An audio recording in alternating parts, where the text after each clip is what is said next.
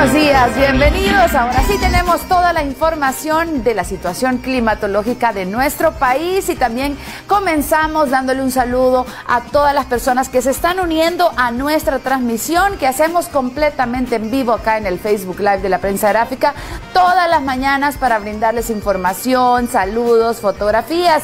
Y este día quiero comenzar saludando a todos los salvadoreños que estaban esperando esta noticia y que el día de ayer estuvieron celebrando porque el gobierno estadounidense aprobó extender por un año más los permisos de trabajo para más de 260 mil salvadoreños que residen en este país, lo cual estaría vigente hasta el 4 de enero del 2021. Además, vencido el plazo, el gobierno de Donald Trump estaría otorgando un año más para buscar una solución definitiva al estatus migratorio de los salvadoreños inscritos en este programa. Esas son información que dio el gobierno salvadoreño y de verdad nos sentimos contentos porque sabemos que estaban esperando esta noticia. Así que desde con esta noticia y desde acá les mandamos un abrazo fraterno. Comenzamos con imágenes de nuestros usuarios. Luis Méndez nos comparte esta fotografía desde Minnesota, Estados Unidos, el otoño. Miren qué bonito, me encanta, de verdad.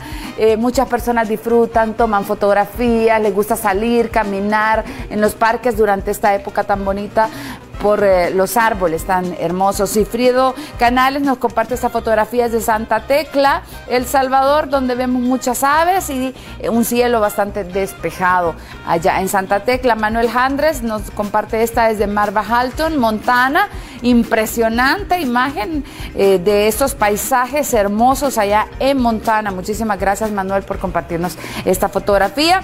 José Arevalo desde Usulután, El Salvador, nos comparte ahí una fotografía muy bonito, sobre todo porque sale ahí el volcán, el cielo bastante nublado, ¿verdad? Parte de lo que tenemos, de la belleza que tenemos en nuestro país, las palmeras. Así que muchísimas gracias, José, por compartir esta estampa. Y bueno, arrancamos con información y es que a las 3.08 de la madrugada de este martes se registró un sismo de magnitud 4.3 frente a la costa de La Paz y esta es información que nos comparte el Ministerio de Medio Ambiente.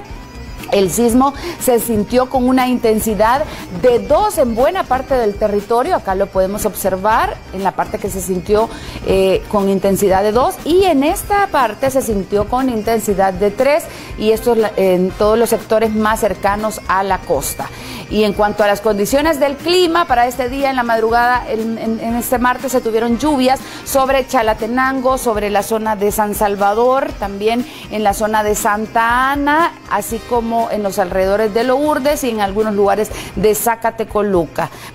Actualmente se tiene el cielo medio nublado y también hay lluvias débiles en los alrededores del lago de Ilopango.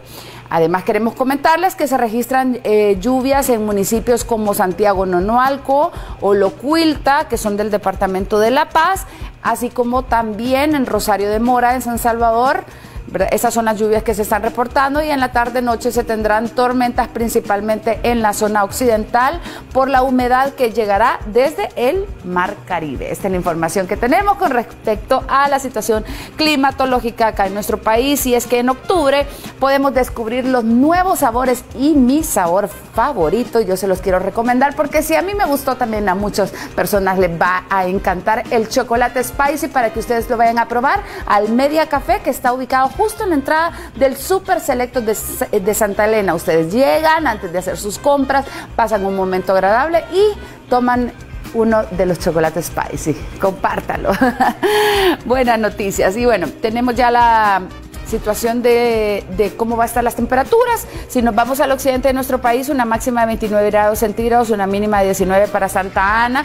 Para la zona central, una máxima de 29 grados centígrados, una mínima de 19 grados centígrados. Para el oriente, 33 grados centígrados la máxima, 23 grados centígrados la mínima. Para San Miguel, esto es bastante agradable realmente para la zona oriental y nosotros les seguimos invitando a que nos guarden sus favoritos, nos comparta fotografías a todos, eh, pues todos los hermanos salvadoreños que estamos por todos lados del mundo, a los de Estados Unidos, Europa, Asia, hay por todos lados. Nos encanta recibir sus fotografías porque también así nos conectamos, les damos un saludo y todo esto. Así que el 503 7682 5525 es el WhatsApp.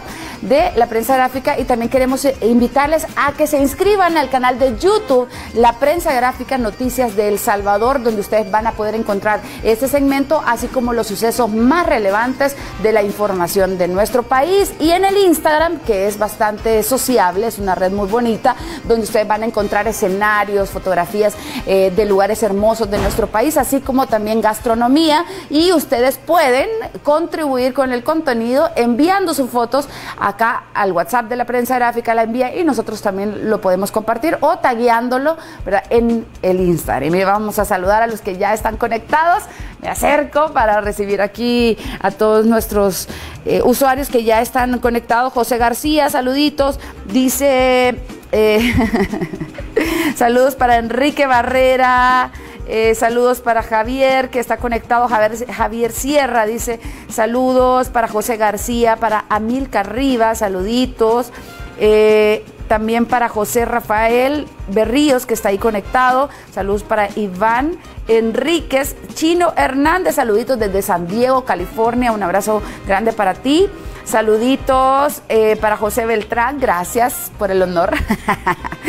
saludos también em, para Javier, eh, saludos eh, para Salvador Ayala, que están ahí conectados, mandándonos GIF, así muy alegres, con mucho optimismo en las mañanas. Necesitamos de, estos, de estas imágenes. Saludos también para José Bonía. para Elías Ramírez, César Benítez, eh, San Israel Villatoro, saludos, dice desde Atlanta.